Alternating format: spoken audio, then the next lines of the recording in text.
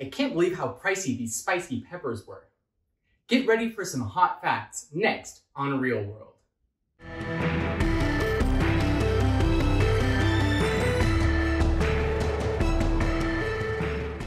Why are some foods more expensive than others?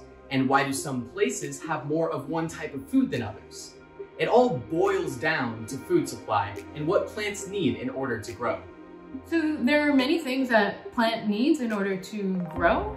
They need water, they need air, they need nutrients that they largely get from the soil, they need sunlight or sunshine, they need heat to grow, they need time of course, so they don't grow in one day, they grow through time.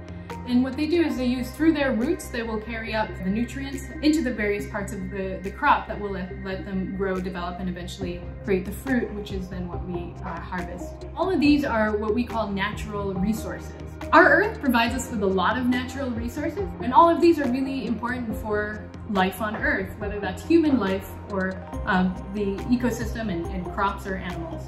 So NASA has a really important um, Earth observing fleet of satellites that are continuously going around the world and providing different types of information. Satellite data are a great tool for us to monitor this kind of information and monitor that on a daily basis to give us a global picture, but that can give us information all the way down at the field scale around how crops are developing, what we can expect the, the productivity is. And the important part is then to convert that data into information that decision makers can use. So crop yields are the harvested production per unit of a harvested area of a, of a crop. You know, thinking about why is it important for us to measure to understand yield, um, that's essentially giving us the, the measure of productivity of a crop.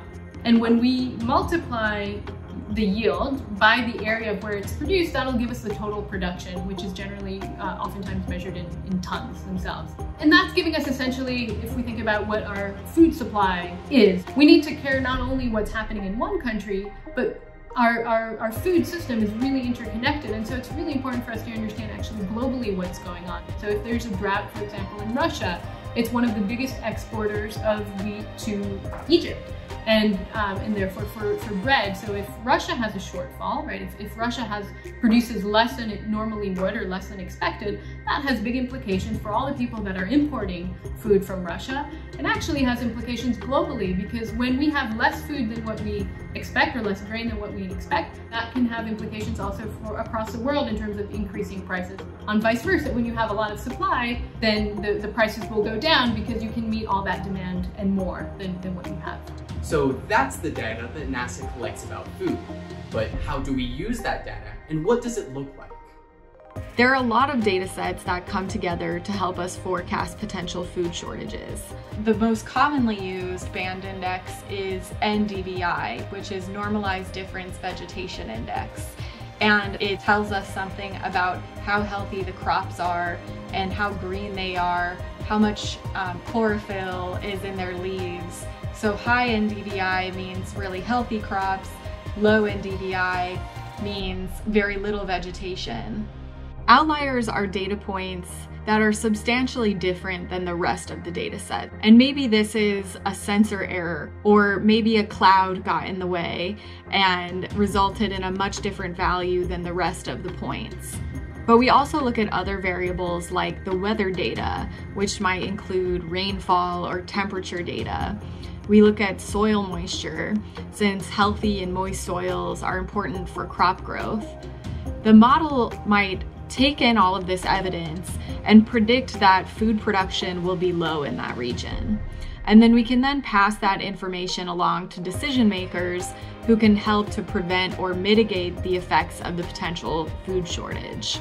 Even though we can observe variables like NDVI, weather, and soil moisture from space, we need to use ground truth data to know how what we're seeing from space and the satellite images matches up with what's actually happening on the ground. Many people use this information. Farmers are always looking to maximize their production. Governments care about how much food is produced, where the food is being produced, and the economic impacts of food production. Much of this data is open source and available to the public through NASA resources online. Sounds like a lot of math. But it all adds up to understanding how the world's food supply works, and how NASA's eyes in the sky can help put food on your plate. Sounds like it's time for me to put some food on my plate. See you next time on Real World.